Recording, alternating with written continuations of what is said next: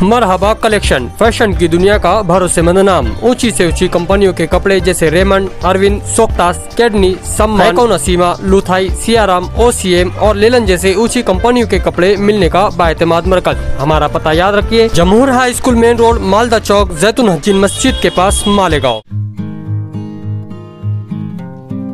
हमारा असल में मुलाकात का जो ख़ास मकसद था कि भी जो गढ़ की यात्रा संपन्न हुई है तो उसमें ज़ाहिर है ये तो बहुत पुरानी परंपरा है, लोग आते हैं, जाते हैं, बहुत ही मतलब अमन के साथ चले जाते हैं और लोग भी उनके साथ अच्छा व्यवहार करते हैं, उनका इस्तकबाल करते हैं, कहीं पानी पिलाते हैं, लेकिन दो साल से जो कुछ एक्टिविटी थोड़ी बहुत हो जाती थी तो इस साल कुछ और ना हो, इसके लिए पहले से मीटिंग भी हमारी हुई थी, साहब के साथ इन्होंने और भी मीटिंगें ली थी और बहुत सारे सजेशन दिए गए थे कि मतलब अगर इनको आप फॉलो करेंगे तो ये मतलब जो एक शंका है कि भाई कुछ हो ना जाए तो वो नहीं होगा।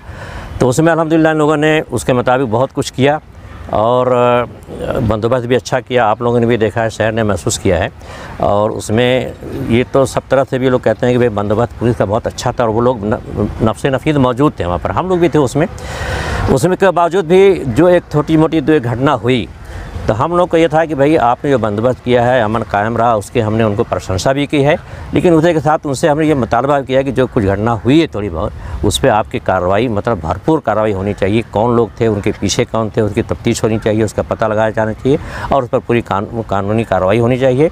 तो और उन्होंने हमको आश्वासन दिया है कि जो बातें हैं उस पर, हम खुद भी पहले से भी उस पर काम कर रहे हैं और आप लोगों के कहने के बाद हम लोग मतलब और उसको अच्छे ढंग से कार्रवाई करेंगे, उसमें कोई कमी या कोई नरमी नहीं की जाएगी। जमाती तंजीम पे कुछ लोग तनकीद भी कर रहे अखबारों के ज़रिए रहे कि अब बैन मज़ाहिब तंजीम बना देनी चाहिए। यानी तो फूल बरसाने वगैरह को लेकर जो ये हुआ था तो क्या हाँ बैन मज़ाहिब तंजीम की बात जो है ना, वो तो बहुत अच्छी बात है ना।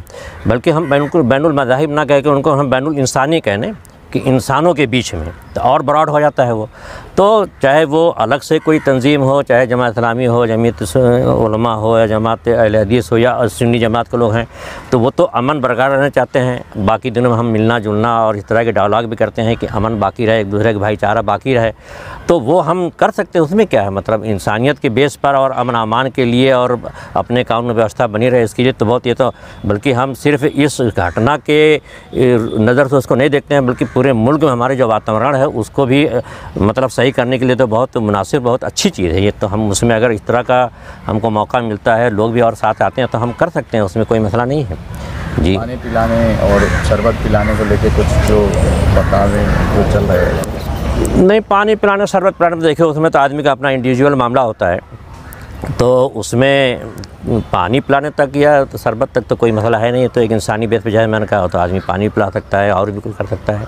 उसमें जो एक थोड़ी सी बात आई थी, जिस पर आपका इशारा भी होगा तो उस पर हमारे कुछ लोग थे, उस पर जिन लोगों ने तनकीदें की हैं तो वो तनकीदें जो है ना उस अप, वो अपने पीछे कुछ और वजूहत भी रखती हैं। बाकी हमने इनसे बात भी ली वो हुआ क्या कि भाई वहाँ पर ये मौजूद थे इनका मकसद था कि भाई अमन अमान कायम रहे मौके पर मौजूद रहें। तो वहाँ पर थे अब जब आदमी वहाँ मौजूद है मैदान में तो इस तरह के कोई मतलब एक कैसे हम क्या कहेंगे क्योंकि इसतरारी कैफियत। कि इसतरारी तौर पर कोई मतलब प्री प्लान या जैसे कोई जमात तंजीम कोई जमाती तंजीम ने ऐसा कुछ प्रोग्राम बनाया था कि जाकर ऐसा करना, ऐसा कुछ नहीं था। वहाँ पर मौजूद है इतफाक़ी एक चीज़, जिसे इतफाक़ी कही है, इसतरारी कही है, वो एक चीज़ हो गई। लेकिन वो लोग उससे मतलब बाद में उनको भी एहसास हुआ, वो टाइप भी हैं और हमने आपस में गुफ्तु भी की। तो उनको भी एहसास हुआ कि वो एक चीज़ नहीं हो जानी चाहिए थी जो मतलब फूल फेंका गया। लेकिन वो एक तरह की कैफियत थी कोई बात नहीं। वो दफ़ात क्या लगी हैं तो मतलब वो अभी उन्होंने मतलब आपको भी नहीं बताया शायद हमको भी नहीं बताया है कुछ उनका मतलब होगा मामला तो उसमें भी हमने बहुत उनको कार्रवाई हो रही है हाँ ऐसा कह रहे हैं। तहकीक हो रही है? A H C academy Malegaon. NEET J double E की बेहतरीन तैयारी आईआईटी टीचरों के साथ। एकेडमी की ओर से स्टडी मटेरियल भी, एडमिशन ओपन। अब होगी सपनों की उड़ान पूरी। छत्रपति शिवाजी महाराज के पुतले के सामने महेश नगर मालेगांव।